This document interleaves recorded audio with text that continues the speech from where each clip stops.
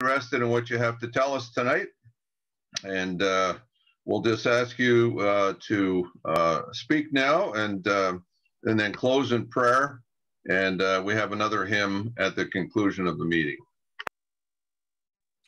Thank you, Charlie. Uh, that was a memorable night for me too. yeah, it was. it was actually. It was a good thing. It gave us time to chat, going back and forth, and enjoy the fellowship. It was very good. Um, thank you. We've enjoyed being here. Um, it, it's always a blessing. Um, I would much prefer being there with all you folks because it's just a blessing of seeing all, all of you folks that I've known over the years. And so thank you. Uh, it's, it's wonderful to have Zoom, but it's not personal, is it? It's very, uh, very different. I'm going to share my screen here. As you know, I try to use uh, slides to make some sense of what I'm saying. Um, is that up on your screen now? Yep, it's up, brother. Thank you. Okay, um, so we're going to continue, as Charlie said, with uh, God's wondrous works. Um, when I think of God's wondrous works, it, it's just a passage of scripture that I've captured in my mind. And I've mentioned to you before that um, the words wondrous works are mentioned 10 times in the Old Testament. And it's worthwhile to look them up and just see what they have to say. It's quite amazing. Um, one of the wonderful works, wondrous works that God does is the ascension. We're going to look at the ascension part two tonight. And um, this is the work of the Lord on earth. The this morning, I, I, was sort of going at breakneck speed. I felt, and um, I hope you actually caught some of it. but I'll try to slow down tonight, and I'll uh, try to not go overtime. Um, the work of the Lord on earth, it, it's of course, there's the work of the Lord in heaven when the ascension first takes place, and what we talked about this morning, the Lord, our um, mediator, our high priest, our prophet, our king, and I'm sure there's many other things, but they're the ones that um, that we know about that he does that are highlighted by by many people and by the scriptures. But I want to just take and show you one quote about God's wondrous works. I like um, Adam Clarke's commentary, and I, I reference it a lot. And um, Job 37 14 says this about the wondrous works. It says, Listen to this, O Job. Stand still and consider the wondrous works of God. Stand still and consider. Listen. So here's what here's what Adam Clarke wrote about that. He says, hearken unto this, or hear this, stand still, enter into deep contemplation on the subject. Weigh everything, examine separately and collectively, and draw right conclusions from the whole. The wondrous works of God are endless in their variety, stupendous in their structure, complicated in their parts, indescribable in their relations and connections, and incomprehensible in the mode of their formation in the cohesion of their parts and in the ends of their creation. The wonder that is some description of the wondrous works of God. You know, if we, if, if as the uh, the passage in the Psalm says, if we just stop and think about the glories of the Lord as we read them and who He is and um, just the heart of God, it just shows us who he is and his motivation, his character, his uh, incredible attributes. Oh, the glories of our God. So, one of the things that is a glory of our Lord is um, just the triune God himself. Um, I'm sure that a number of you have read a number of books about the triune God, and I'm sure that there are very few that you have not wanted to reread. But here's what a Bible commentary says about the, the triune God. He says, the Bible teaches that in every activity of God, God the Father authors it, The Son, Jesus Christ, arranges it, and the Holy Spirit brings it to completion. And you know, I've never I've never had that extensive a study to be able to make a comment like that, but it it just seems to make some sense. The Father authors it, so it starts with him. The Son, Jesus Christ, is making it happen, and the Holy Spirit brings it to completion. It's always the triune God. And then this author says, therefore, the Holy Spirit is working in every phase of divine activity as he always has been. So we're going to uh, go forward about Christ and the Holy Spirit tonight because the work of God, the work of the Lord Jesus Christ on earth is through the Holy Spirit. And the Holy Spirit is always connected to the Son, the Lord Jesus Christ. The when the Son was on earth, the Holy Spirit worked um, with. Um, I'm trying to figure out where my sentences end and start here. Once I sort that out, I'll be fine.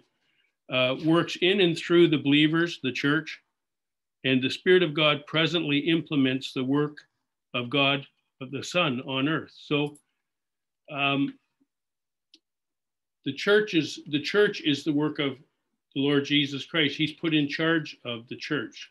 Of course, God Father would have authored it. God, the Lord Jesus Christ, would have done the work to get it to that point, and then he hands it to the Holy Spirit to carry it on according to the will of Christ, the will of God.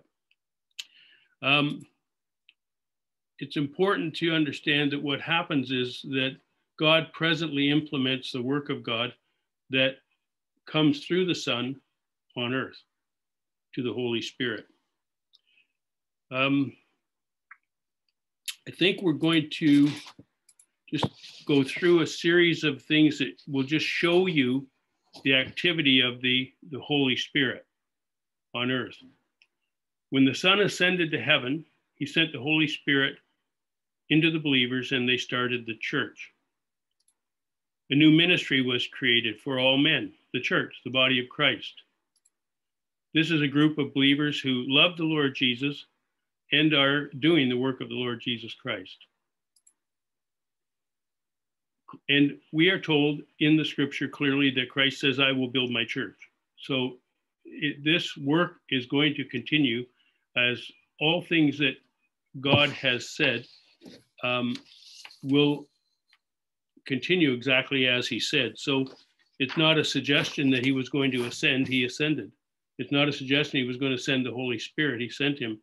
All of these things happen because once God says the word to do something, it's done. So Christ will build his church, but he will build it. The worker on earth will be the Holy Spirit doing the will of the Lord Jesus, which of course is doing the will of the Father. What is the ascension? For Christians, there are a few more, very few more important historical events than this one. One of the wondrous works of God was when the Lord Jesus Christ was taken up bodily into heaven to be seated at the right hand of his Father. The ascension of the Lord Jesus was a pre I call it a trigger because it's it's like it's like the word, I think it's like the word I thirst when the Lord Jesus Christ was on the cross. I don't think that that just happened and all of a sudden it dawned on the Lord Jesus that um, that was the only thing that wasn't finished. I believe that was a planned thing that when you get to that and he says, I thirst, that's everything is completed then. And it says that the scripture may be fulfilled. He said, I thirst. I think that the ascension of the Lord Jesus was a planned trigger, which was set, set in motion the next steps of God's great plan. So, what did he do? Well, it began when he ascended, he began the new work of Christ in heaven. And secondly, he began the new work of Christ on earth. Um, and here's how it, it's written up in Acts chapter 1. Now, when he had spoken these things, while they watched, he was taken up, and a cloud received him out of their sight. And while they looked steadfastly toward heaven as he went up, behold, two men stood with them in white apparel, who also said, Men of Galilee, why do you stand gazing up into heaven? This same Jesus, who was taken up from you into heaven, will so come in like manner as you saw him go. So that was the action of the actual ascension that was that took place. He was taken up. But there was a condition that was placed on the coming of the Holy Spirit. And because Christ said that the Holy Spirit could not come until he, Christ, had returned to heaven. So the Holy Spirit's coming to earth was conditional on the ascension.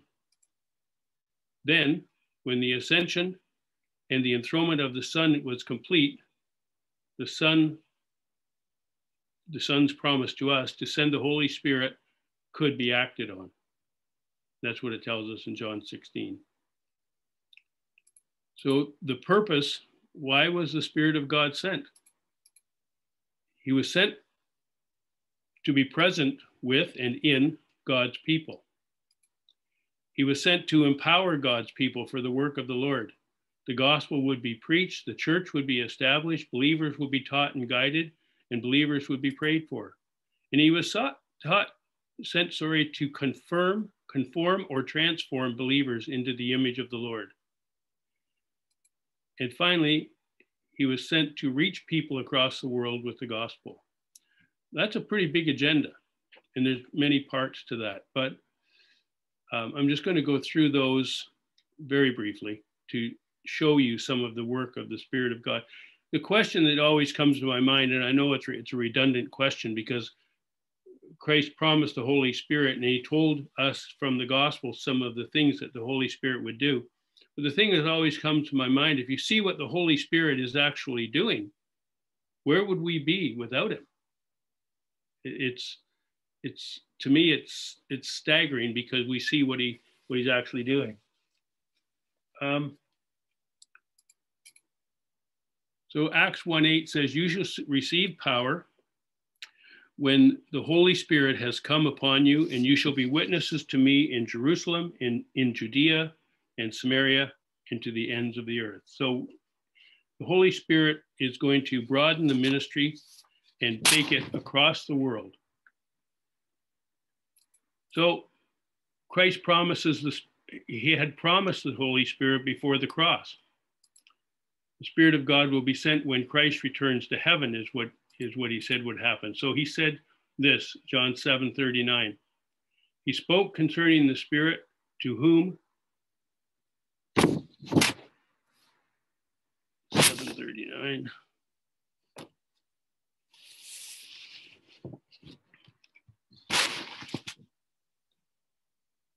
To whom believing in those believing in him would receive, for the Holy Spirit was not yet given because Jesus was not yet glorified. So obviously that means that when he would be glorified, the Holy Spirit would be given. But he wasn't as of before the cross, so he couldn't come. The Holy Spirit couldn't come.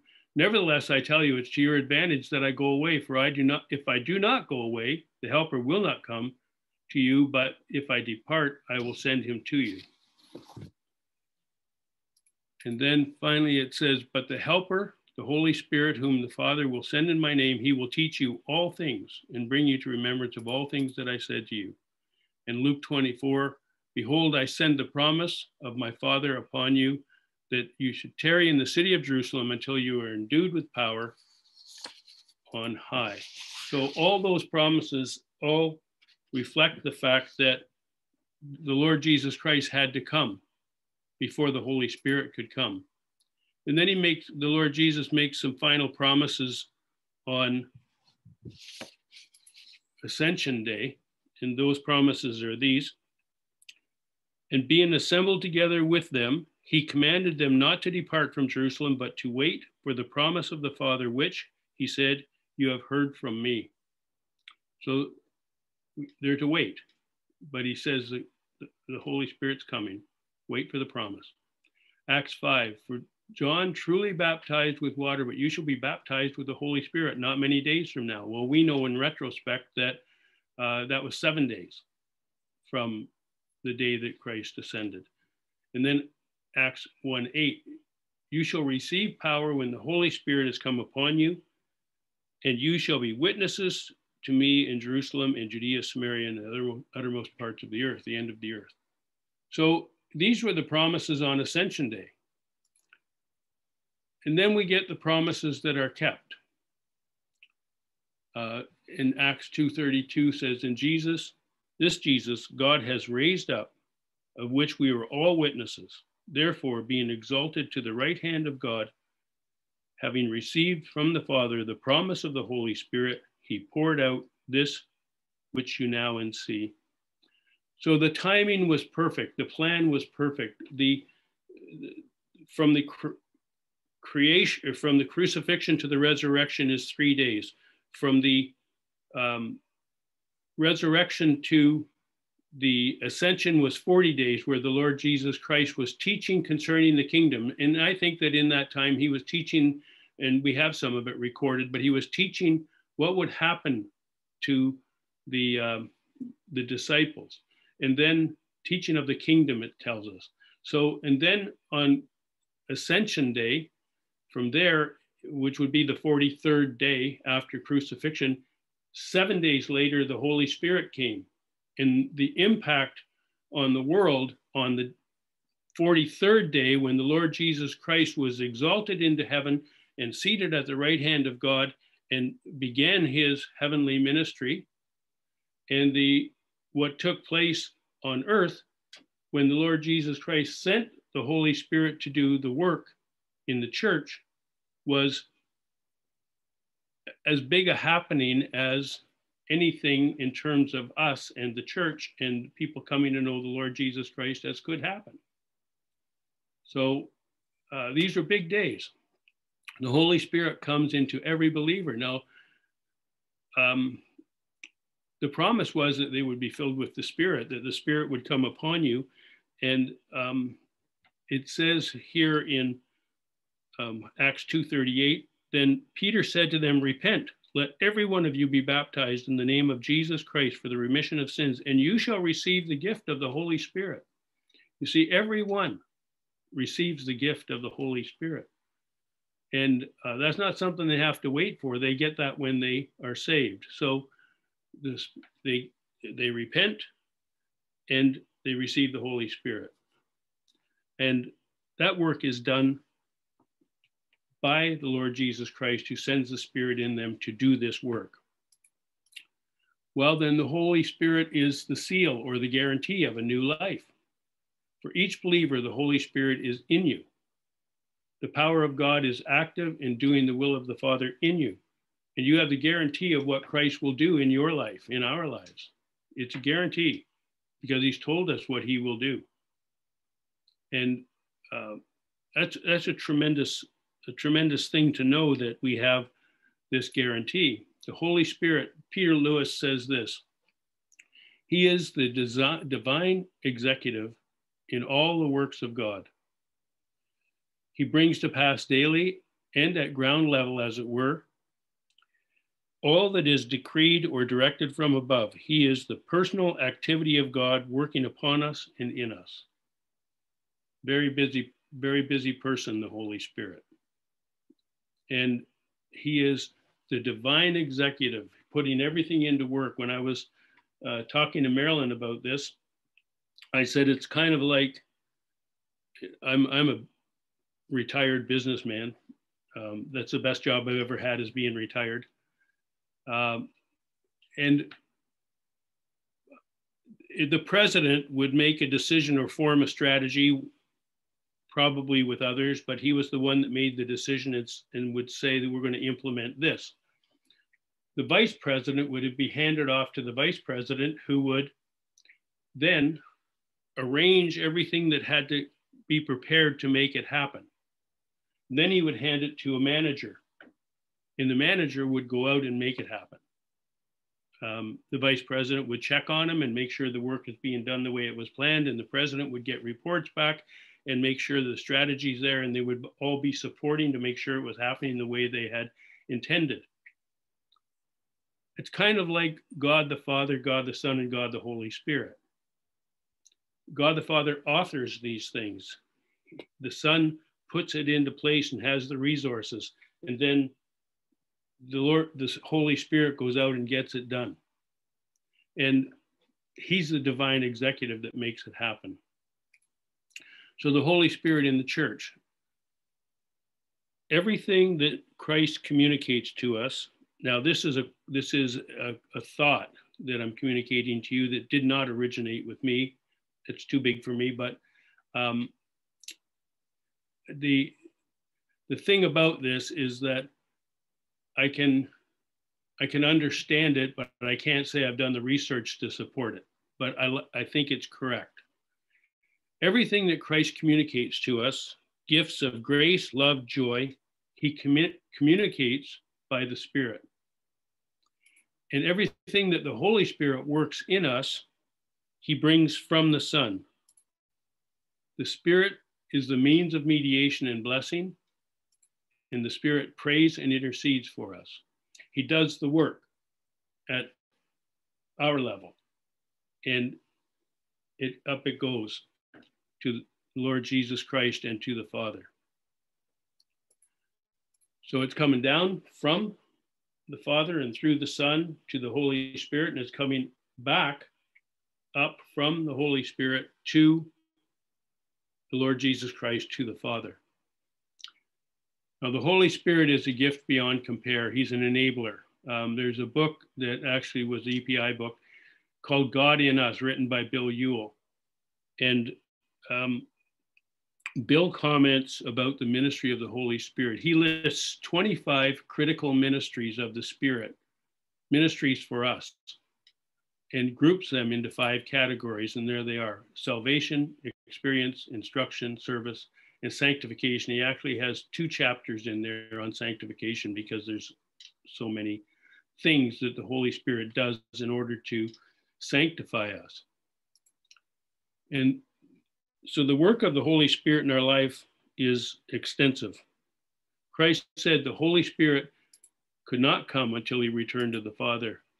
What would we be without the Spirit of God? What would we be?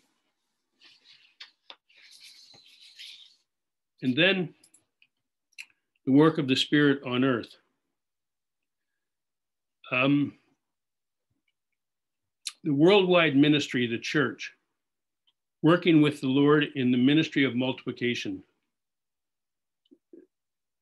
That's God's plan.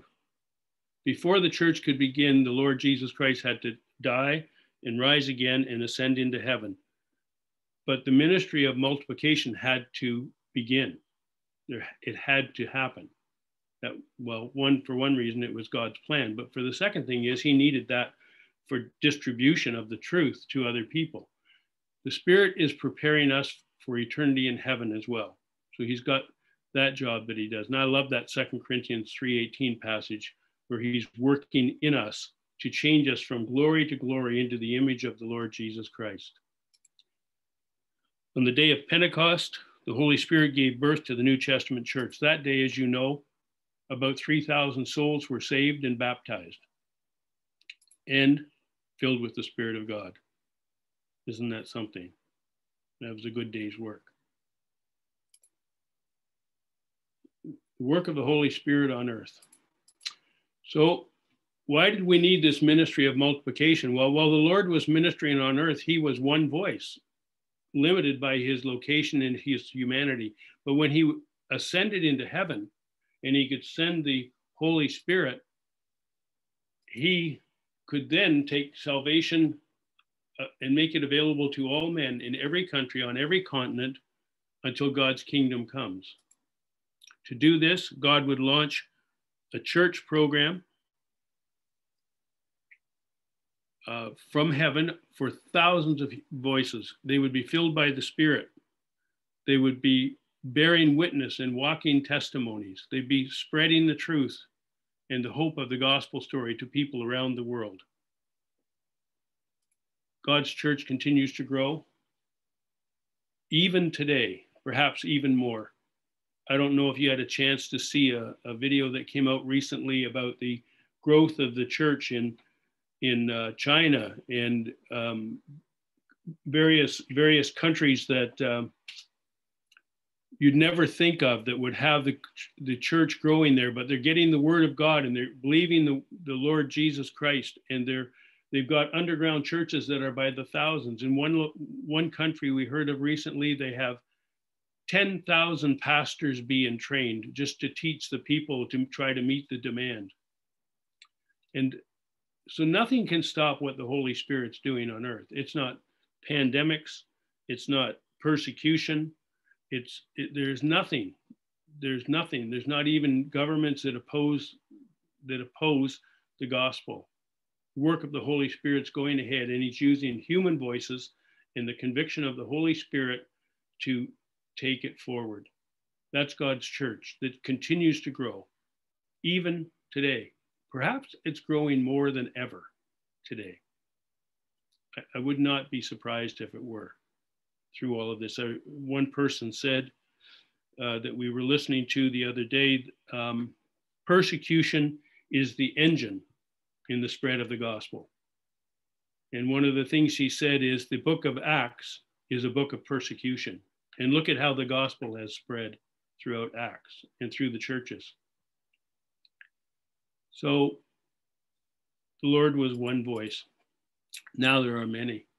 The Lord Jesus is head over the church. Christ had been given the authority as head of the church. The, his job was to administer the operation of the church. The Spirit of God does the work of the Son of God on earth. The Spirit fills every believer in the church and equips them in the ministry. One chapter, and I would invite you to read this. We won't take time to read it tonight. But one chapter regarding the Spirit's work for us is Romans 8. And I'll just give you two of the verses. There is therefore now no condemnation to those who are in Christ Jesus. Note the word in Christ Jesus, who do not walk according to the flesh, but according to the Spirit. For the law of the Spirit in Christ Jesus, the Spirit of life in Christ Jesus, has made me free from the law of sin and death. That's two verses out of uh, 30 somewhat. Um, that talks about what we have in Christ. And you can, our salvation and the guidance of the Spirit has freed us to walk a new life. In that passage in Romans, you will find at least a dozen things that the Holy Spirit's doing for us that only the Holy Spirit can do. That's, that's the work of the Spirit in our lives. It's not only powerful and authoritative, but it's unique. And then there is an indescribable goal of the Spirit of God. This, this thing, uh, this act of the Holy Spirit is breathtaking to me. The, the Holy Spirit has a goal of conforming you and me and every Christian into Christ's image. That's what it tells us this is beyond imagination that the Holy Spirit would work in order to change us into the image of the Lord Jesus Christ. Conformed means to be adjusted or modified to be like some something or someone.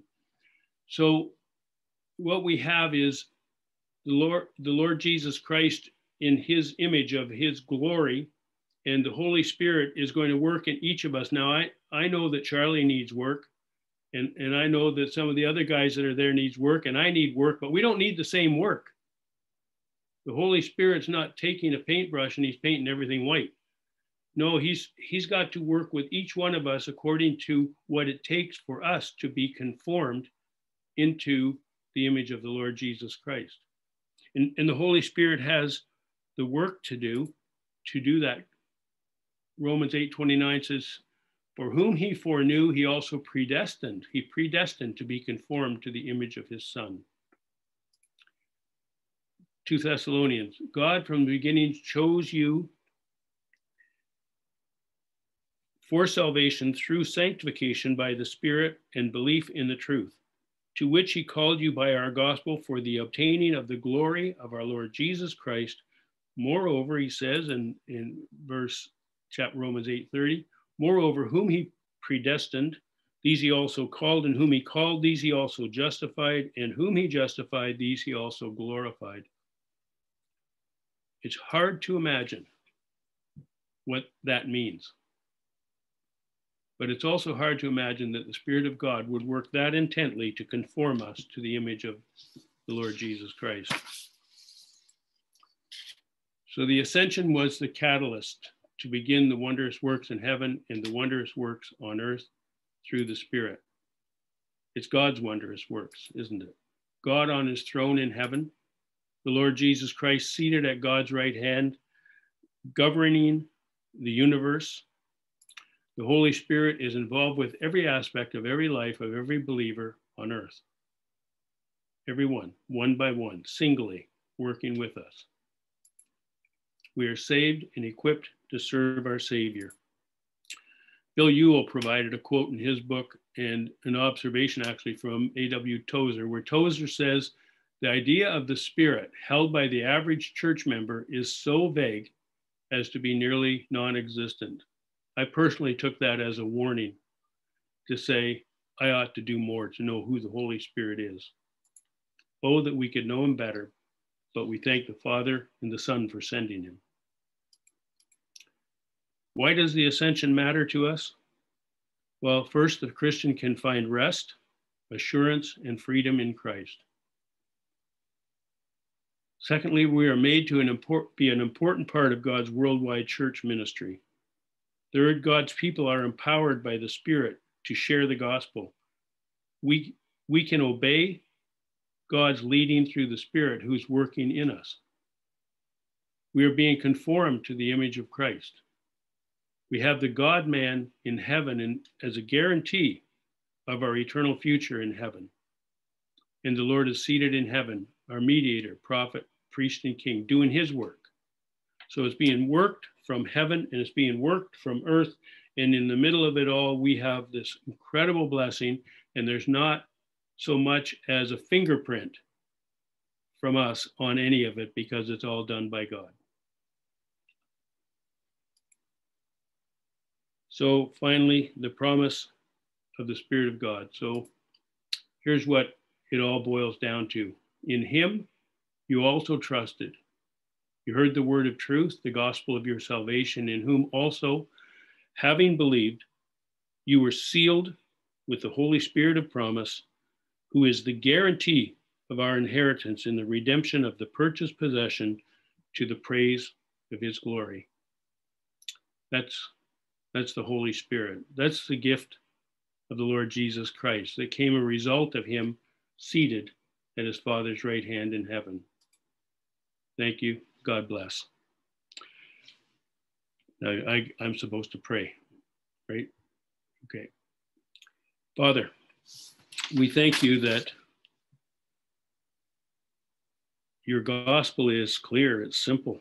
Your the fact that the Father sent the Son to be the Savior of the world. The fact that the Son sent the Holy Spirit to do the work on earth and and take the gospel to the whole world and change us into the image of Christ and build us up and strengthen us and teach us the truth and guide us and all all that the Holy Spirit has done. Father, all we can do is simply say thank you. We have nothing to offer. So Father, we pray that as a group we would be able to once more consider the wondrous works of God. We thank you for just showing us this truth. Although it's simple and we can recite it quickly, it's as complex as anything ever could be. And the more we dig, the more we love you and your Son and the Lord Jesus Christ. And we thank you in the name of the Lord Jesus. Amen. Well, Don, thank you very much on behalf of the Assembly for the last two Sundays and the messages and the time that you spent preparing to teach us. So it was just great. I'm going to ask Scott to put up our uh, last hymn. And uh, at the conclusion of that, you can uh, wave goodbye to uh, friends and foes alike. And, uh, and uh, we will gather again Thursday. Thank you.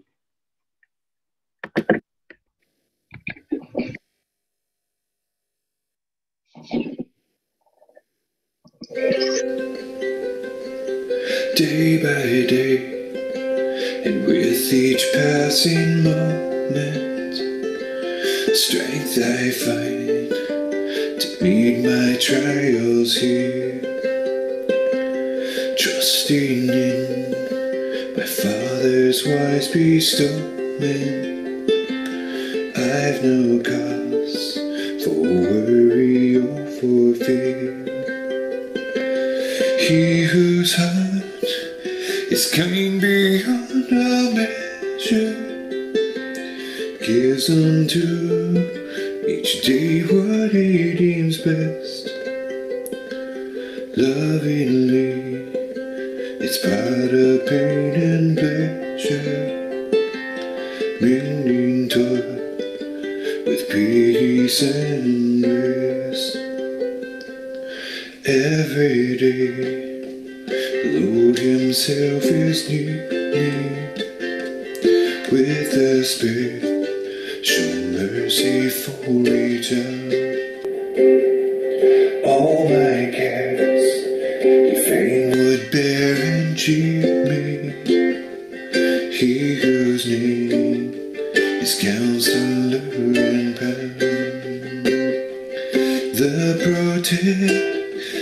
His child treasure is a judge that on himself he laid.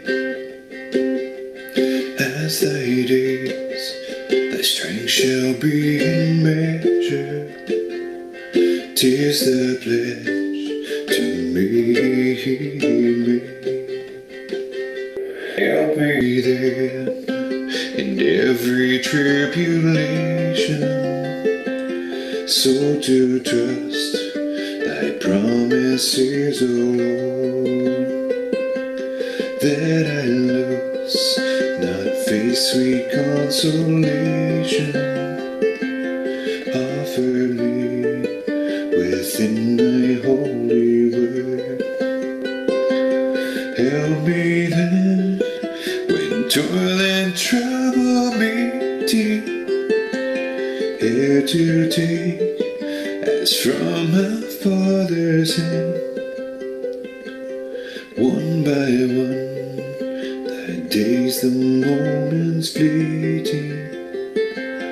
till I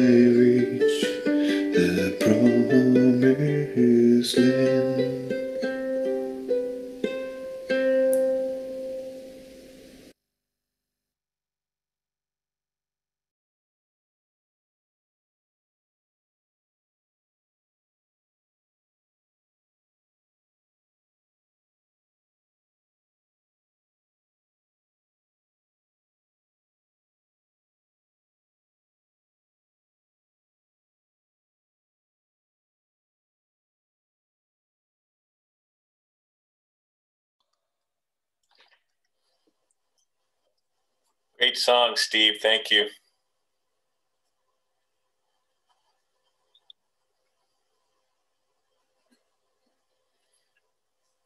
Thank you, Don.